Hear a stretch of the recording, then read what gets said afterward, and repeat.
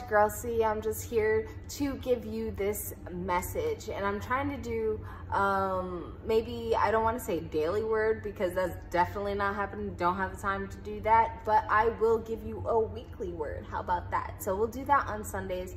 Look forward to it because I intend to keep myself, what's the word? Accountable. So what I am doing is just sharing this message with you guys. I hope it finds you guys well.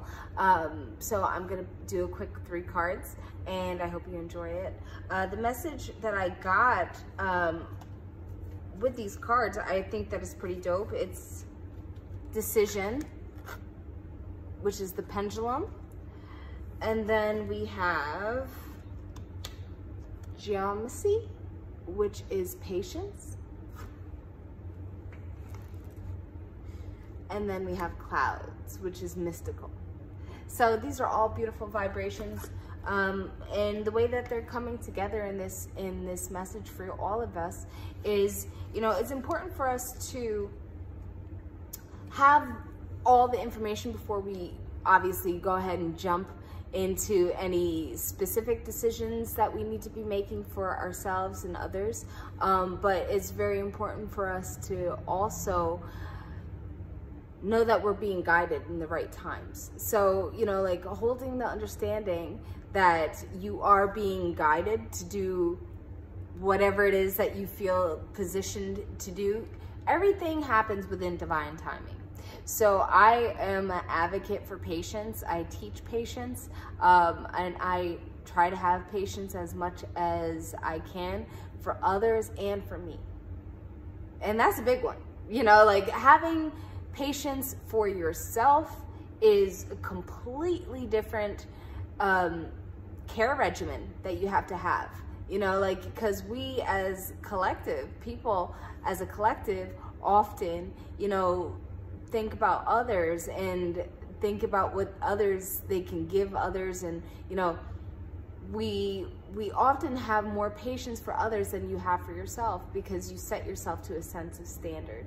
So understanding that you're being guided wholly and truly by your spirit, by most high, you know, those are the only two co-creations that you would need is, you know, that between you, your spirit, and you and the most high. Those are the two that you need is the strongest.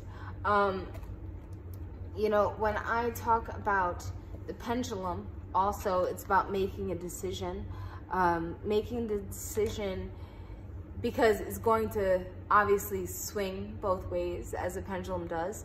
Um, you have to weigh your options, find balance, have patience. Um, but when you utilize a pendulum for its magic and its energy, uh, the sensing takes a bit of time. You actually, uh, I teach a lot of my students pendulum work where I will hide something and they have to have the internal patience, okay, to find whatever it is that I've hidden in my shop, you know, for them. So it's really a, a significant thing to, to come up on is like to, to find that patience within yourself, you know, like to taking that, that experience and trying to not internalize it, but have it on an external uh, external forum where you have to share that same sense of patience that you're able to give to somebody else so easily, understand that you are just as deserving of that. And when you teach other people how to be things, that means that you need to learn it the best. So I know for myself, I needed to learn patience and I'm very good at teaching patience because it's what I have always needed most to learn for myself. So, um, you know, understanding that you are being guided right now by the Most High. You have the clouds, the mystical, understanding, um, looking to the clouds. Also, when you think about clouds, think about the shapes. Everybody sees something different. That's a very big thing for you guys to be aware of. Everybody sees something uh, different within the shapes of the clouds. That's the beauty of, of looking at something abstract is because everybody is going to have a different awareness of it, you know? So having that as a understanding. And then we have uh, geomancy, which is the, the act of having patience. And um, yeah, the act of having patience. Again, I'm hearing that came through really interesting. Okay, so the thing that I'm hearing has to do with like a significant undertaking. Like, so if there is a specific task that you want to do, and I feel like that this is very much about a new a new line of business. Now, if it is not, if you're not a business owner, um, I would say this has to do with maybe you creating something for yourself.